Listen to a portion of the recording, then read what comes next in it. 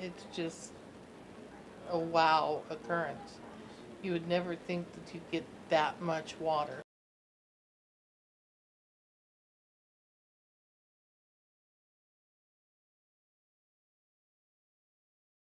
And so to see this just really beautiful space destroyed by Mother Nature is actually very emotional and really hard.